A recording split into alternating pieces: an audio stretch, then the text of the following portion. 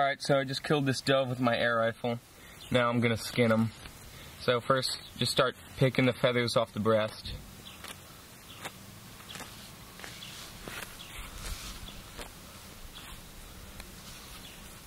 I shot him right in the neck, right there. Kind of a little bit under the neck. It was, it was about a 50 yard shot, so it was pretty far. Alright, now you're to take your knife, kind of do a slit right by the neck. Right there. And now you're just going to kind of rip the skin off the breast. It's kind of hard.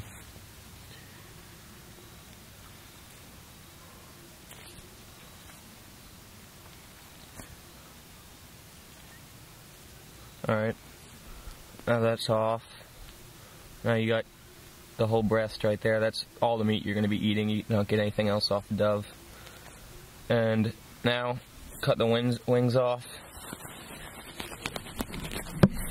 There's one.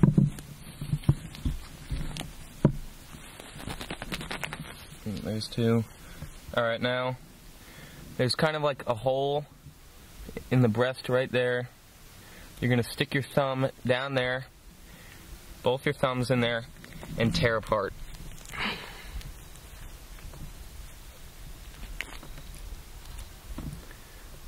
And that's, once you rinse it off, it'll look better, but that's your dove breast.